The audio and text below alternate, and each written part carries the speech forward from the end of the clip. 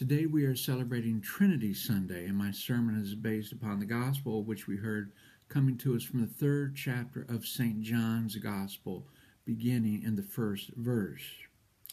That which is born of the flesh is flesh, and that which is born of the Spirit is spirit. In the name of the Father, and of the Son, and of the Holy Ghost. My dear friends in our Lord Jesus Christ, as we heard today mentioned in St. John's third chapter of his gospel, we are witness to a conversation between our blessed Lord and Nicodemus. Now remember that Nicodemus, as he is referred to as, excuse me, a ruler of the Jews, in other words, he was a member of the Sanhedrin.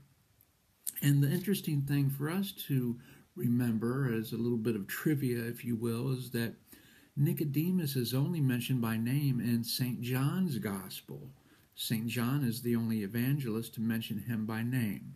He's mentioned three different times. And again, in this third chapter that we're referencing today, Saint or Nicodemus rather is conversing with our Lord. And basically our Lord is stating that if you want to enter the kingdom of God, you must be born again. Specifically, it says in verse 3 Verily, verily, I say unto thee, except a man be born again, he cannot see the kingdom of God. Now, of course, this confuses Nicodemus to no end because he is focusing on the on this term being born again. He is apparently taking it literally, which, if we put ourselves in his shoes and had never heard, heard that phrase before, perhaps we would have been just as confused. So I try to uh, give Nicodemus quite a bit of slack. But he's literally focusing on the word being, or the phrase being born again. And so our Lord makes the point to differentiate between the flesh and the spirit.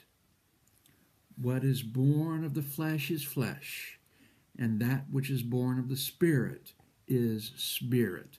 Of course, that first spirit is capital S, spirit, meaning, of course, the Holy Ghost. So again, our Lord is differentiating between what is flesh and what is spirit. He's separate, separating. This isn't the first time, quite frankly, that we heard our Lord separating, because elsewhere, certainly as we hear written in St. Matthew's Gospel, in the 22nd chapter and the 21st verse, we hear the following Render therefore unto Caesar the things that are Caesar's, and unto God the things that are God's.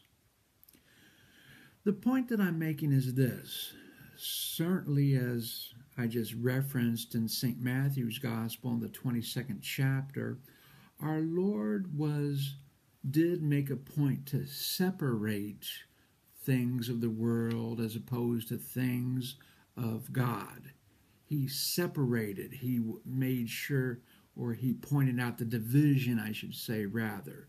These things belong to the world, these things belong to God. But in this case, what our blessed Lord is saying when he states that which is of the flesh is of the flesh, that which is of the spirit is of the spirit, there seems to be a clear distinction. But in this case, it's not so much a distinction as a contrast. Keep in mind when we mention the word flesh, we are thinking about things of the world, as opposed to when it is mentioned as spirit, we are thinking about things of God. This does raise a very interesting point for us as Christians to ponder, because as I stated, we who call ourselves firmly committed, dedicated Christians, Christians who take our faith seriously, Not Christians in name only, keep in mind, because I am making a clear distinction. Those who make the distinction of being serious, committed Christians. They cannot separate who they are. This is what I mean. There's many places in life where we can separate. We can make a distinction and we can segregate, if you will, or segment, so to speak. For example, in my secular job, certainly where I work 40 hours a week, when I am there from 8 to 5, it's 8 to 4:30 actually, but I digress.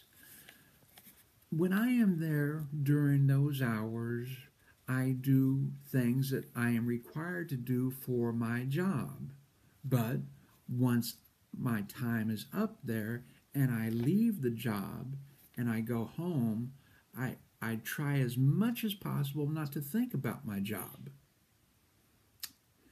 Thus, when I go home or uh, even on the way home and I have to do things, whether they be uh, running errands even on the way home to get things at the store for what we need at home or to get pet food, for example, which is what I uh, do very often when I leave work and go home.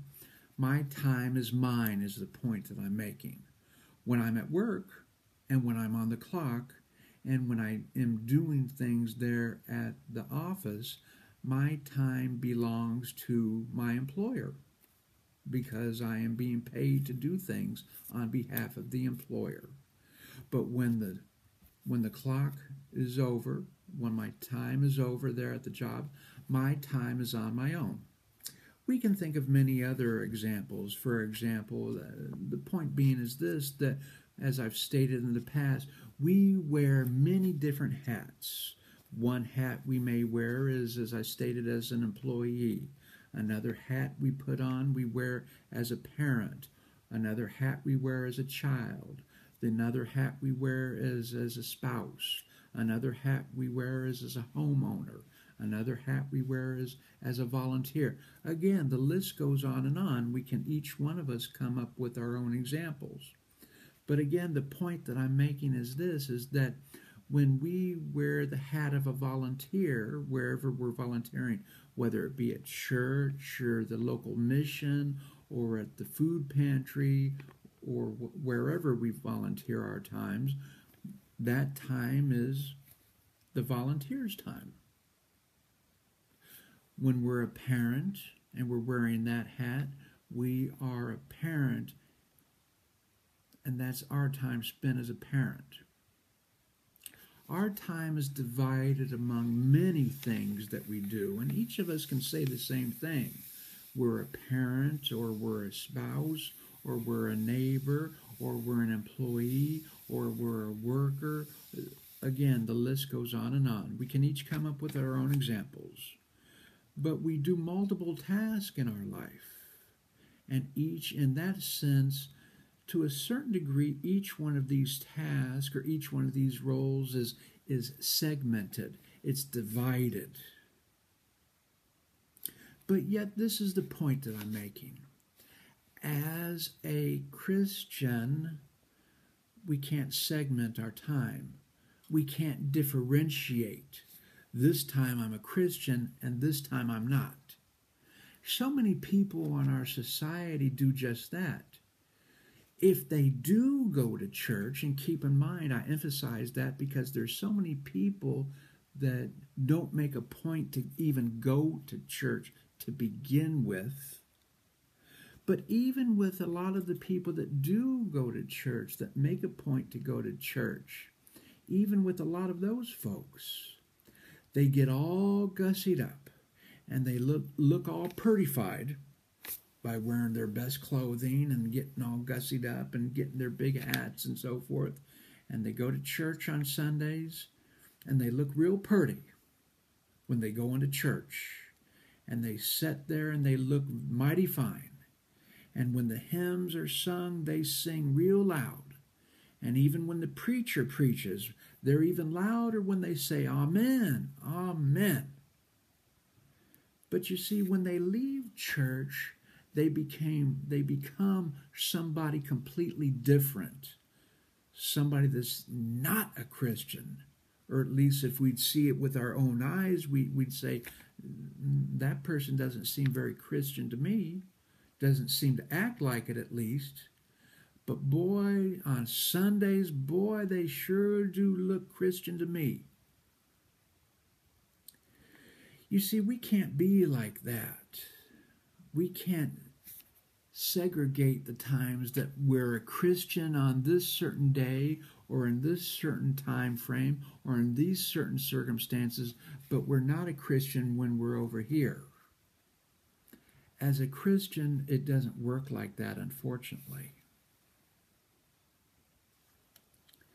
certainly as we look back in the Old Testament and the Psalms, the Psalms are always wonderful to reflect on. And certainly one of the wonderful Psalms that we can always look towards for inspiration is Psalm 34, verse 1, where we hear, I will bless the Lord at all times. His praise shall constantly be in my mouth as I try to make the point so often in my sermons, I try to state to you that it is important to know the context of which scripture verses were written or epistles were written or the reason why they were written. This verse that I just read to you is no different because this verse was written by David. That should be, we all know that. The Psalms were written by David. But the point that I'm emphasizing now is this David wrote that psalm at a particular time when he was at his lowest, if you will. You see, at the time he was being chased by King Saul. And King Saul had it in for David. Why? Because he was jealous of David, as the bottom line. Remember in Scripture where it says the people sang, Saul killed thousands, but David killed tens of thousands. And so this got this rankled Saul. This this got in his craw, so to speak. King Saul hated that. He despised that. And so he was jealous as a result. And so he had it in for David and didn't want anything to do with David and wanted to kill David. And so that's why I say, even at this time, when David was being hunted and was in fear of losing his very life, he still was able to write this psalm that I just read to you. I will bless the Lord at all times. His praise shall continually be in my mouth. We should learn from that, and especially in that context, we should learn that at all times we are called to praise the name of the Lord because he has done so much for me. Elsewhere in the New Testament, in the fifth chapter of the epistle written to the Ephesians, we hear, giving thanks always for all things unto God and the Father in the name of our Lord Jesus Christ it's not always easy to praise God. I'm the first one to admit that. It's not always easy to praise God's holy name when things seem so down. But it's in those times that we need to praise God's holy name. It's in those times that we need to reflect on the fact that God has done so much for us, that God is always there for us. You see, when we realize that God is there for us 24 hours a day and seven days a week and 365 days out of the year, when we ponder that fact, it's easy for us to remember that we should be there for God 24 hours a day, seven days a week, and 365 days out of the year because He's there for us that same amount of time. God is always there for us, and therefore we should always be there for God. In the name of the Father, the Son, and of the Holy Ghost. Amen.